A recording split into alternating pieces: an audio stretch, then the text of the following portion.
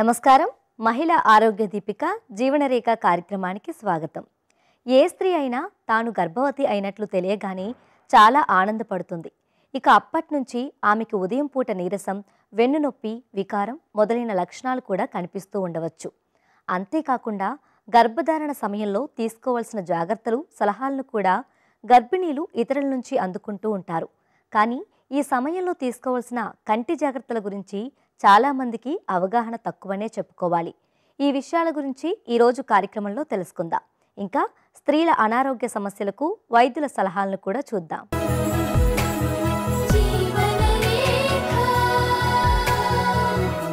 గర్భధారణ సమయంలో స్త్రీ శరీరంలోని హార్మోన్లో మార్పులు మరియు శారీరక మార్పుల వలన కంటి చూపు ప్రభావితం కావచ్చు. గర్భిణీకి ఇప్పటికే కంటి సంబంధిత సమస్యలు ఉన్నట్లయితే పరిస్థితి మరింత తీవ్రంగా మారవచ్చు.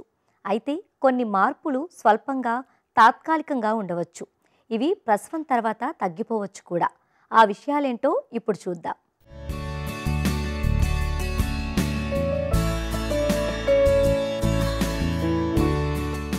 స్త్రీ గర్భధారణ సమయంలో శరీరంలోని హార్మోన్లో మార్పుల వలన కంట్లో నీరు ఉత్పత్తి తగ్గుతుంది. ఫలితంగా కంట్లో చికాకు మరియు కళ్ళు పొడిబారటం వంటి సమస్యలు వస్తాయి. ప్రసవానికి ముందు హార్మోన్ల సమతుల్యతను సరిచేయడం ద్వారా ఈ సమస్యలకు దొరుకుతుంది. గర్భధారణ సమయంలో సాధారణ కళ్ళద్దాలు ధరించటం మంచిది. ఎందుకంటే కాంటాక్ట్ లెన్స్ వలన కళ్ళకు అసౌకర్యం ఎక్కువగా ఎదురవుతుంది. గర్భధారణ సమయంలో ఎదుర్కొనే మరొక సమస్య కంట్లో నీరు చేరటం. దీని వలన కార్నియా ఉబ్బుతుంది మరియు కంట్లో మార్పులు వస్తాయి. ఈ కారణంగా చూపు అస్పష్టంగా మారుతుంది.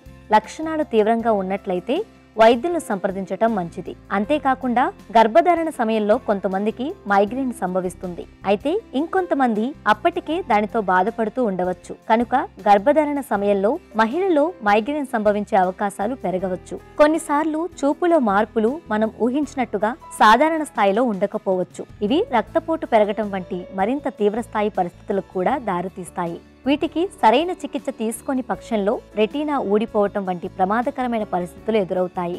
కాబట్టి తరచూ రక్తపోటు చెక్ చేయించుకోవడంతో పాటు అస్పష్టమైన చూపు వెలుతురును చూడలేకపోవటం వంటి వాటిని ప్రీ ఎక్లాంప్సియా యొక్క లక్షణాలుగా గమనిస్తూ వెంటనే వైద్యులను సంప్రదించాలి.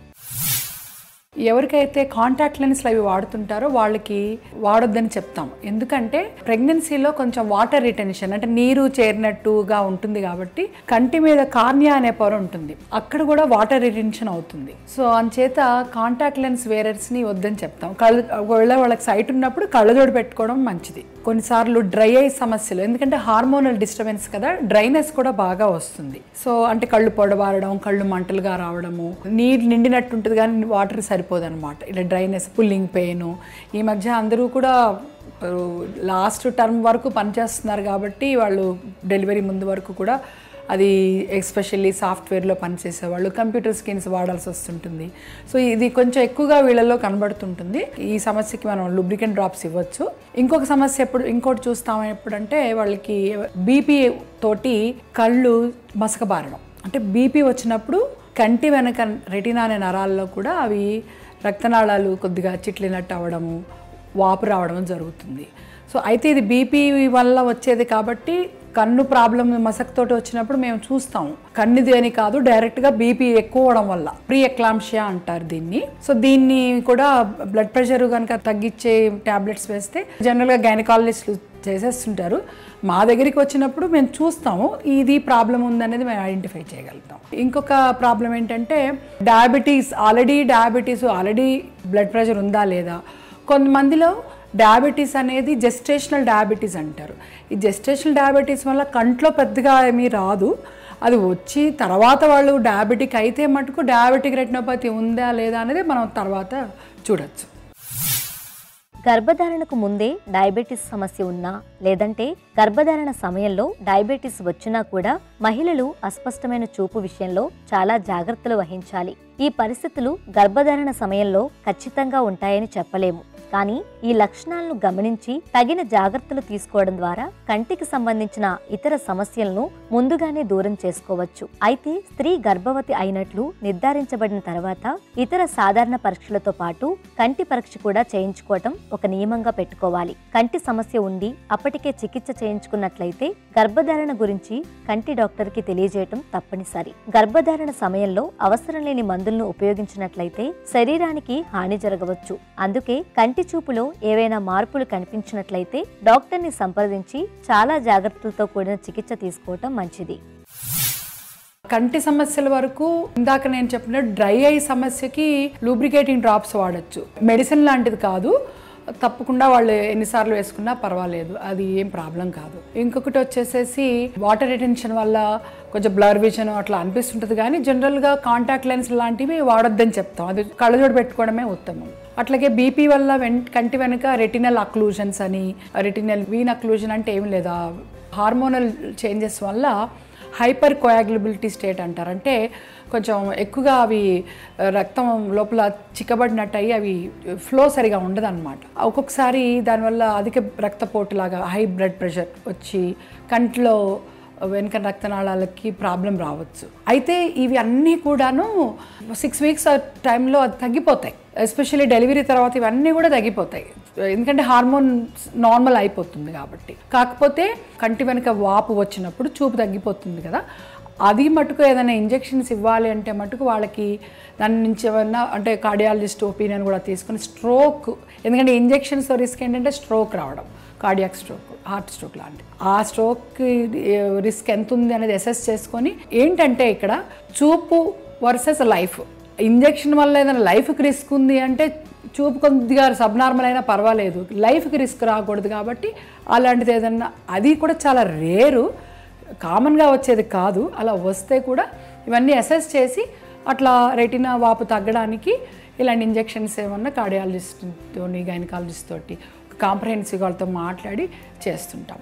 మిగిలినవన్నీ డెలివరీ తర్వాత ఆటోమేటిక్గా తగ్గిపోతాయి. ఇక జెస్టేషనల్ డయాబెటీస్ అంటే డయాబెటీస్ తోటి వచ్చేది ఆ టైంలో కంటి మీద ఏమి సమ్ ప్రాబ్లం రాదు. ఒకవేళ వాళ్ళు తర్వాత డయాబెటిక్ అయితే మటుకు ఇయర్లీ చెకప్స్ చేసుకుంటూ షుగర్ కంట్రోల్ చేసుకుంటూ కళ్ళ పరీక్షలు చేయించుకుంటూ ఉండాలి. ప్రియోక్లాంప్సియా లేదా డయాబెటీస్ యొక్క లక్షణాలను గమనించి అవసరమైతే తక్షణమే వైద్య సహాయాన్ని అభ్యర్థించాలి. మీరు గర్భవతులైతే మీకు పుట్టబోయే బిడ్డ గురించి మీరు ఎన్నో కలలు కంటారు. ఆ కలలు నిజం చేసుకోవడానికి మరియు మీరు మీ బిడ్డ ఆరోగ్యంగా ఉండటానికి ముందుగానే మీ ఆరోగ్యం ముఖ్యంగా మీ కంటి ఆరోగ్య సంరక్షణ గురించి తగిన చర్యలు చేపట్టాలని గుర్తుంచుకోవాలి. తరచూ కళ్ళు పొడిబారే సమస్య ఉన్నట్లయితే టీవీ చూసే సమయాన్ని తగ్గించటం మంచిది. తరచూ ఎక్కువ మోతాదులో ద్రవ పదార్థాలను తాగాలి మరియు మీ కెఫిన్ లేదా ఇతర ఒరేటెడ్ పానీయాలను తక్కువగా తాగాలి. ఉప్పు తక్కువగా ఉండే డైట్ పాటించాలి. కొంతమందిలో మటుకు అంటే ప్రొఫెషనల్స్ ఎవరన్నా ఉండి వాళ్ళు కంప్యూటర్స్ మీద బాగా వర్క్ చేసే వాళ్ళకి విపరీతమైన డ్రైనెస్ రావచ్చు. సో డ్రైనెస్ దానికి వాళ్ళు కొంచెం గ్యాప్స్ తీసుకుంటూ వర్క్ చేయడం. అంటే కంటిన్యూస్గా స్క్రీన్ వైపు చూడకుండా గ్యాప్స్ తీసుకొని వర్క్ చేయడం ఒకటి మంచిది. రెండోది లూబ్రికేటింగ్ డ్రాప్స్ అని దొరుకుతాయి. అవి రోజు రెండు మూడు సార్లు ఆ డ్రాప్స్ వాడుకోవడం ఒకటి. జనరల్గా హె ప్రెగ్నెన్సీలో హెల్దీ ఫుడ్ హెల్దీ థాట్స్ అని చెప్తుంటాం కాబట్టి హెల్దీ ఫుడ్లో అన్ని న్యూట్రియంట్స్ ఉండేవి especially antioxidants rich food antioxidants అనేవి మనకి ఫ్రెష్ ఫ్రూట్స్లోను వెజిటబుల్స్లోనూ దొరుకుతుంది. గ్రీన్ గ్రీన్ లీఫీ వెజిటబుల్స్ కావచ్చు లేదా బీటా కెరటిన్స్ అధికంగా ఉండే అంటే మ్యాంగో సీజన్ అయితే మ్యాంగోస్ లేదా క్యారెట్స్ ఇలాంటివి జ్యూస్ రూపంలో కానీ వాట్ తీసుకున్నప్పుడు వల్ల యాంటీ ఆక్సిడెంట్స్ బాగా లభ్యం అవుతాయి సో కంట్లో ఒమేగా త్రీ ఫ్యాటీ యాసిడ్స్ అనేవి కూడా తీసుకుంటే మంచిది. దీనిలో కొద్దిగా డ్రైనెస్ని తగ్గించే అవకాశం కూడా ఉంటాయి. దాంతోపాటు ఆల్రెడీ బీపీ ఉండి షుగర్ ఉండి ఉన్న వాళ్ళు అవి కంట్రోల్ చేసుకోవాలి. చాలా ఇంపార్టెంట్ ఇది. ఎందుకంటే ఈ హార్మోన్ డిస్టర్బెన్సెస్ అవుతాయి కాబట్టి ప్రెగ్నెన్సీలు అవి ఎక్కువయ్యే అవకాశం ఉంటుంది. తర్వాత కాంటాక్ట్ లెన్స్ యూజర్స్ ఎప్పుడు కూడా కొంచెం వాటిని అవాయిడ్ చేయడం మంచిది. అలాగే కొంతమంది ఎలాగో ప్రెగ్నెన్సీలో బ్రేక్ తీసుకున్నాము మాకు సైట్ ఉంది లేసిక్ ఆపరేషన్స్ చేసుకోవచ్చా అని అడుగుతుంటారు.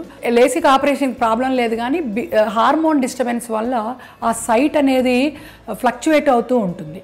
సో ఆ టైంలో వాళ్ళు చేసుకోకుండా లేజర్ ఆపరేషన్స్ లాంటివి చేయించుకోకుండా అవాయిడ్ చేయడమే చాలా మంచిది. ప్రెగ్నెన్సీ తర్వాత చేయొచ్చా అని కూడా అడుగుతారు. కాకపోతే ఫీడ్ చేస్తున్నప్పుడు బ్రెస్ట్ మిల్క్లో మనం సర్జరీ తర్వాత చే పెట్టే డ్రాప్స్ వల్ల అంటే జనరల్గా ఐ సర్జరీస్లో స్టీరాయిడ్ డ్రాప్స్ వాడుతుంటాము.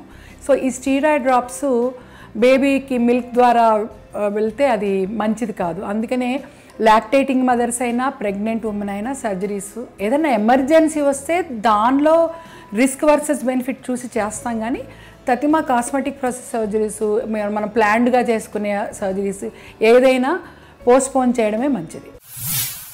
గర్భధారణ సమయంలో శరీరంలో సహజంగానే నీటి శాతం తగ్గుతుంది. దీంతో కళ్ళు పొడిబారడం జరుగుతుంది.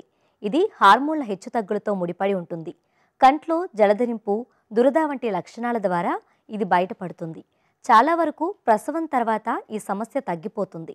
అయితే అరుదైన సందర్భాల్లో కళ్ళు పొడిబారడం అనే ఈ సమస్య శాశ్వతంగా ఉండిపోతుంది. ఈ సమస్యని చికిత్స చేయకుండా వదిలేస్తే కణజాలం దెబ్బతినడంతో పాటు దృష్టి దెబ్బతినే అవకాశం కూడా ఉంటుంది.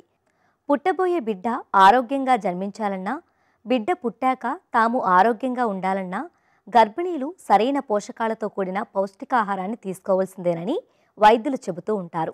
పిండం ఎదుగుతున్న సమయంలోనే గర్భిణీలు నిత్యం పౌష్టికాహారం తీసుకుంటే ఎన్నో అనారోగ్య సమస్యలు రాకుండా చూసుకోవచ్చు.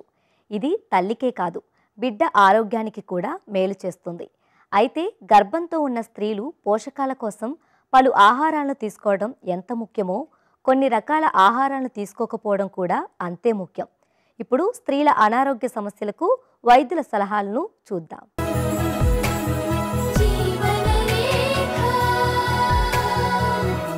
డాక్టర్ గారు కౌసల్య గారు ఇలా అడుగుతున్నారు. నా వయసు పదహారు సంవత్సరాలు. నాకు పీసీఓఎస్ సమస్య ఉంది. నేను డెబ్బై కిలోల బరువు ఉన్నాను. నా ఎత్తు నూట అరవై ఐదు సెంటీమీటర్లు. నేను నాలుగు నెలల క్రితం పదహారు కిలోల బరువు తగ్గాను. అప్పటికి నా పీరియడ్స్ రెగ్యులర్గా లేవు. నాకు మూడు నెలలకు ఒకసారి పీరియడ్స్ వస్తాయి. పీరియడ్స్ వచ్చిన తర్వాత ఆగడం లేదు. నేను ఏ మందులు వాడాలో దయచేసి తెలియజేయండి. నేను ఎటువంటి లైఫ్ స్టైల్ ఫాలో కావాలో వివరించండి అని అడుగుతున్నారు. కౌసల్య గారు హార్మోనల్ డెవలప్మెంట్ ఇంకా సరిగ్గా స్టెబిలైజ్ కాలేదనమాట అంటే ఈ హైపోథాలమోపిట్యూటరీ యాక్సిస్ అనే ఒకటి మనం ఉంటుందన్నమాట అది బాడీలో. అంటే హార్మోన్ రిలీజ్ అయ్యే ఇంబ్యాలెన్స్ వలన మీకు ఇలా వస్తుంది. దో దానికి కొద్దిగా టైం పడుతుంది. ఇప్పుడు మీకు ఒక ఎయిటీన్ టు ట్వంటీ ఇయర్స్ వరకు టైం పడుతుంది అనమాట అంటే రెగ్యులర్గా పీరియడ్స్ రావడానికి. ఇంకొకటి మీరు ఏంటంటే కొద్దిగా వెయిట్ మీరు తగ్గించండి. ఒక సిక్స్టీ కేజెస్ వరకు మీరు వెయిట్ కనుక తగ్గిస్తే బాగుంటుంది. ఈ హార్మోన్స్ అనేది మీ బాడీ వెయిట్కి అంటే ప్రతి సెల్లోకి వెళ్తుంది అనమాట హార్మోన్ సప్లై అదంతా మీకు సరిపోవట్లేదు. సో మీరు వెయిట్ తక్కువ చేస్తే ఫ్యాట్ తగ్గుతుంది. ఫ్యాట్ తగ్గడం మూలాన మీకు నార్మల్గా పీరియడ్స్ వచ్చే అవకాశం ఉంటుంది. ఇంకొకటి ఏంటంటే త్రీ మంత్స్కి ఒకసారి ఎక్కువ వస్తుంది అంటున్నారు. సో మీరు ఏం చేస్తారంటే ఫస్ట్ థింగ్ మీ డైట్ కూడా చేంజ్ చేయండి. అంటే కార్బోహైడ్రేట్స్ ఈ షుగర్ మైదా పిండి ఇలాంటివన్నీ చాక్లెట్స్ స్వీట్స్ మిల్క్ ఇలాంటివన్నీ తగ్గించండి. తగ్గించి ఎక్కువ సాలడ్స్ వెజిటబుల్స్ ఎక్కువ ఫైబర్ కంటెంట్ ఉన్న ఫుడ్ తీసుకోండి. దాంతో డెఫినెట్గా మీకు హెల్ప్ అవుతుంది. దీంతోపాటు కంపల్సరీ మీరు ఒక ఫైవ్ కిలోమీటర్ వాకింగ్ కానీ ఏదన్నా ఒక చిన్న మీరు సిక్స్టీన్ ఇయర్స్ అంటే చిన్నపిల్లనే కనుక మీరు ఒక స్పోర్ట్స్లో జాయిన్ కావాలి. మీకు స్పోర్ట్స్ వలన ఏమవుతుందంటే బాడీలో ఉన్న ఎక్సెస్ ఫ్యాట్ చాలా తక్కువ అవుతుంది. మీరు కంపల్సరీ ఫైవ్ కిలోమీటర్స్ రన్నింగ్ కానీ వాకింగ్ కానీ ఒక స్పోర్ట్ కానీ మీరు హాబీలాగా పెట్టుకోండి. ఎప్పుడు టీవీ ముందర ఎక్కువ కూర్చోవద్దు. ఈ జంక్ ఫుడ్ ఒకటి మానేయాలి. అది చాలా ఇంపార్టెంట్. డాక్టర్ గారు హరిత గారు ఇలా అడుగుతున్నారు. నాకు సిజేరియన్ ఆపరేషన్ అయ్యి నాలుగు నెలలవుతుంది. మేముండే ప్లాట్ సెకండ్ ఫ్లోర్లో ఉంటుంది. చిన్న చిన్న అవసరాలకు నేను కిందకి దిగి మళ్ళీ మెట్లు ఎక్కాల్సి వస్తుంది. అయితే ఈ మధ్య నాకు పొత్తి కడుపులో ఇంకా నడుము భాగంలో కూడా నొప్పి వస్తుంది. నేను మెట్లు ఎక్కడం వల్లనే నొప్పి వస్తుందేమో అనిపిస్తుంది. సిజరీన్ అయిన తర్వాత మెట్లు ఎక్కడం మంచిదేనా? సలహా ఇవ్వండి అని అడుగుతున్నారు. హరిత గారు మీరు ఫోర్ మంత్స్ బ్యాక్ సిజరీన్ అని చెప్పారు. మీరు మెట్లు ఎక్కి దిగడము అంటే ఇప్పుడే స్టార్ట్ చేసి ఉంటారు. బట్ ఏదైనా కానీ ఒక సిక్స్ మంత్స్ వరకు అంత ఎక్కి దిగే పని పెట్టుకోకుండా ఉంటే బెటరు. కంపల్సరీ ఎక్కి దిగాల్సి వస్తే కూడా స్టెప్స్ యూజ్ చేయాల్సి వస్తే కూడా మెల్లిగా ట్రై చేయొచ్చు. బట్ ఈ మీ పొత్తి కడుపులో నొప్పి దీనికి అంతగా రిలేషన్ ఉండకపోవచ్చు. మీరు దానికోసము మళ్ళీ మీరు ఎక్కడ సిజేరియన్ చేయించుకున్నారో అక్కడ డాక్టర్ దగ్గరికి వెళ్ళి ఒకసారి చెకప్ చేయించుకోండి. ఎందుకంటే డెలివరీ అయిన తర్వాత మీరు కంటిన్యూస్గా మీరు బేబీకి ఫీడింగ్ చేస్తూ ఉంటుంటారు. దాంతో మీరు చాలా కాల్షియం బేబీకి కూడా పోతుంది మీరు డెలివరీ అయినప్పుడు బేబీకి కూడా కాల్షియం వస్తుంది. మీరు కాల్షియం సప్లిమెంట్స్ అన్నీ వేసుకుంటున్నారా? జనరల్గా కూడా న్యూట్రిషియస్ ప్రాబ్లం ఉందా లేదా చూసుకోవడానికి? మీరు కంపల్సరీ ఐరన్ ఒకటి బి కాంప్లెక్స్ ఒకటి కాల్షియం ఒకటి మీరు ఎన్ని రోజులు బేబీకి ఫీడ్ చేస్తే అన్ని రోజులు వాడడం మంచిది. మీరు డైట్ కూడా కాల్షియం ఎక్కువ ఉన్న లైక్ గ్రీన్ వెజిటబుల్స్ ఐరన్ ఎక్కువ ఉన్న డైట్స్ స్ప్రౌట్స్ కానీ ఆకుకూరలతో పాటు నార్మల్ వెజిటేబుల్స్ కూడా ఎక్కువ తినండి. డైలీ మీ డైట్లో ఎగ్ కానీ నాన్ వెజిటేరియన్ అయితే హై ప్రోటీన్ డైట్ ఫిష్ కానీ ఉండేటట్టు చూసుకోండి. దాంతోపాటు డ్రై ఫ్రూట్స్ కూడా చాలా హెల్ప్ అవుతాయి. సో ఈ న్యూట్రిషన్ అంటే మీకు ఎనీమియా ఉన్నదా? లేకపోతే కాల్షియం డెఫిషియన్సీ ఉన్నదా? దాని మీదనే ఎక్కువ డిపెండ్ అవుతుంది. కానీ ఈ మెట్లు ఎక్కి దిగడం వల్ల అంత పెయిన్ ఉండకపోవచ్చు. సో మీరు ఇంకా సపోర్ట్ కోసము మీరు ఒకటి అబ్డామినల్ బైండర్ అంటే ఈ పొట్ట మీద స్టిచెస్ మీద ఒక చిన్న బైండర్ అబ్డామిన్ సపోర్ట్ ఉండేటట్టు అలాంటిది కట్టుకొని మీరు వాకింగ్ చేస్తే బెటర్. గర్భిణీలు బాగా పండిన బొప్పాయి పండ్లను చాలా తక్కువ మొత్తంలో తీసుకుంటే ఏమీ కాదు. కానీ పచ్చి బొప్పాయి పండ్లను మాత్రం తినరాదు. ఎందుకంటే వాటిల్లో ఉండే లెటెక్స్ పాల వంటి పదార్థం గర్భాశయంపై ప్రభావం చూపుతుంది.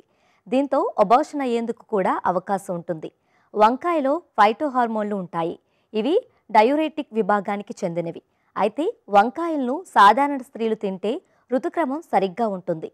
కానీ గర్భిణీలు మాత్రం తినకూడదు. ఇవి శరీరంలో వేడిని కలిగిస్తాయి. డాక్టర్ గారు శ్రీలత గారు ఇలా అడుగుతున్నారు. నా వయసు నలభై సంవత్సరాలు.